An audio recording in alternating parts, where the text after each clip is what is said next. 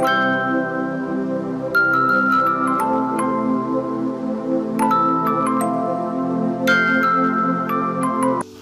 mừng quý vị và các bạn đã đến với bản tin dự báo thời tiết ngày 17 tháng 9 năm 2021. Thưa quý vị và các bạn, sang tới ngày hôm nay, Bắc Bộ sẽ có quãng tạm giảm mưa, trời có nắng nhẹ vào trưa và chiều. Mức nhiệt cao nhất có xu hướng tăng nhẹ khoảng từ 1 tới 2 độ, phổ biến ở ngưỡng từ 31 cho tới 33 độ. Tuy nhiên, từ đêm nay, Bắc Bộ lại bước vào một đợt mưa rông trên diện rộng mới do ảnh hưởng của hội tụ gió trên cao được hình thành trên khu vực vùng núi Bắc Bộ. Dự báo đợt mưa rông này sẽ kéo dài từ đêm nay cho tới ngày 20 tháng 9. Trong đó sẽ có những điểm có mưa vừa mưa to, có nơi mưa rất to, với lượng mưa phổ biến từ 100 tới 200 mm. Riêng vùng núi Bắc Bộ gồm các tỉnh như Lai Châu, Lào Cai, Hà Giang, Tuyên Quang có nơi có mưa rất to với lượng mưa 300 mm, thậm chí là trên 300 mm, đi kèm với các hiện tượng thời tiết thiên tai nguy hiểm khác. Thời gian mưa lớn thường xảy ra tập trung vào đêm và sáng. Trong mưa lớn, cảnh báo trong thời gian tới, trên các sông suối ở khu vực Bắc Bộ có khả năng xuất hiện một đợt lũ với biên độ lũ lên từ 1 đến 3 mét. Trong đợt lũ này thì mực nước đỉnh lũ trên các sông suối nhỏ có khả năng đạt mức báo động 1, hạ lưu các sông chính ở dưới mức báo động 1.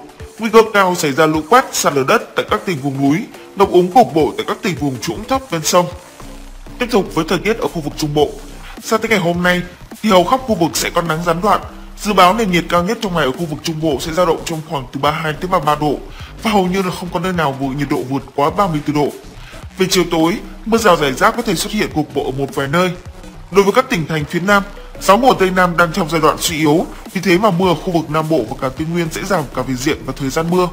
Hôm nay cả hai khu vực trời đều nắng giáo, nền nhiệt cao nhất trong ngày ở khu vực Tây Nguyên duy trì trong ngưỡng mát mẻ từ 29 tới 31 độ, còn ở Nam Bộ nhiệt độ là từ 32 tới 33 độ. Đến chiều tối mưa quay trở lại trên cả hai khu vực. Tại Nam Bộ có mưa rào rải rác và có nơi có rông, còn khu vực Tây Nguyên thì mưa rông chủ yếu xảy ra ở phần phía Nam, các tỉnh Đắk Lắk, Đắk Nông với lượng mưa nhỏ dưới 10 mm. Cập nhật về vùng áp thấp mang mã hiệu 97 kép. Hồi 4 giờ sáng nay, vị trí trung tâm vùng áp thấp ở vào khoảng 11,4 độ vĩ Bắc, 128,3 độ kinh Đông, trên vùng biển phía đông nam Philippines. Sức gió mạnh nhất vùng gần tâm áp thấp nhiệt đới ở vào khoảng 30 km/h. Trong 24 đến 48 giờ tới, áp thấp này chưa có dấu hiệu mạnh lên. Trong những ngày tiếp theo thì áp thấp sẽ bắt đầu di chuyển vào khu vực Nam Biển Đông. Theo dự báo của Trung tâm Khí tượng Hạn vừa châu Âu, sau khi vào Biển Đông, áp thấp có khả năng mạnh lên thành áp thấp nhiệt đới trong ngày 19 tháng 9, rồi tiến vào đất liền Nam Trung Bộ trong ngày 21 tháng 9. Đặc biệt hơn, thì Trung tâm Khí tượng Hải quân Hoa Kỳ GFS lại đưa ra nhận định, khi áp thấp đi vào Biển Đông, gặp điều kiện thuận lợi, nó sẽ mạnh lên thành cơn bão số 6 trong khoảng ngày thứ ba tuần sau. Cơn bão này có mang tên quốc tế là Diamu. Tương tự như bão số 5, bão Diamu sẽ gây ảnh hưởng cho tịch trực tiếp cho khu vực miền Trung nước ta vào những ngày cuối tuần sau. Với kịch bản này thì mưa lớn tại miền Trung sẽ đến muộn hơn, nhưng lượng mưa sẽ lại lớn hơn rất nhiều. Nguy cơ lũ quét, sạt lở đất và ngập úng cục bộ tại những vùng trũng thấp đô thị xảy ra là rất cao. Ngoài ra thì Nam Bộ cũng sẽ chịu ảnh hưởng gián tiếp do hoạt động của xoáy thuận nhiệt đới kích hoạt, cường độ gió của gió Tây Nam. Vì vậy mà mưa lớn có khả năng gia tăng ở thành phố Hồ Chí Minh và các tỉnh thành Nam Bộ.